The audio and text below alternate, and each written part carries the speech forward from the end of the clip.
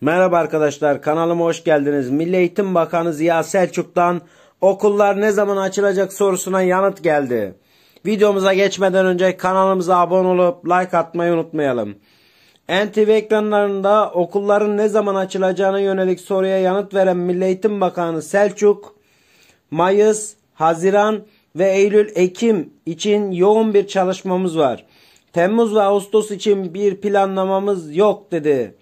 Ziya Selçuk ayrıca LGS tarihinin ertelenmesinin de söz konusu olmadığını belirtti sevgili izleyiciler. Biz 23 Nisan için sınıflarda, okullarda etkinlik yapmasak da evde nasıl yapabiliriz diye düşündük. Sabah 8.30'da çocuklar adına Anıtkabir'de olacağız. EBA TV'de de 23 Nisan özel yayınımız olacak. 23 Nisan sabahınızda, sabahında çocuklarımıza EBA TV'de özel sürprizlerimiz var dedi. İçimdeki okul sesleri kitabına ilişkin soruya da yanıt veren Bakan Selçuk çocuklarımıza sesleri tanıtmak gibi tavsiyeler içeriyor. Çocuklara böyle bir hediye vermek benim için çok değerli dedi. Bakan Selçuk sözlerine şu şekilde devam etti. Hazırladığımız eğitim takvimi her telefondan takip edilebilir durumda. Ebeyat katkımızı sürekli sağlamaya çalışıyoruz. Ve en önemli soruya geldi. Okullar ne zaman açılacak? Sağlık sorunları gide, giderildiği için okullar açılsın desen de biz buna hazırız. Biz kararlarımızı alırken tek noktadan bakmıyoruz. Yazın da çocuklarımızın dinlenmesini istiyoruz. Biz her türlü telafisini yaparız.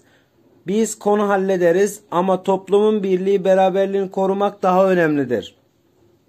Türkiye'nin Türkiye'nin gidişat gidişatı ya da DSÖ'nün önerisi olumsuz yönde olursa biz hemen çalışmalara başlarız. Okulların açılması da Temmuz ve Ağustos değil de Eylül ve Ekim aylarında daha etkili çalışıyoruz. Tabi Mayıs, Haziran ve Eylül, Ekim dönemlerine ilişkinde çalışmalarımız bulunuyor şeklinde söylemi oldu. LGS ertelenecek mi? LGS ile tarihin değişmesi şu an değişmesi mümkün değil. Ama çocuklarımıza bir şey demek istiyorum. Motivasyonunuzu bozmayalım. Okullar herkes için kapalı. Biz 7 Haziran'daki sınava elbette erteleriz. Ancak böyle bir durum şu an yok. Online sınav da yapılmayacaktır dedi sevgili izleyiciler. Kanalımıza abone olup like atmayı unutmayalım.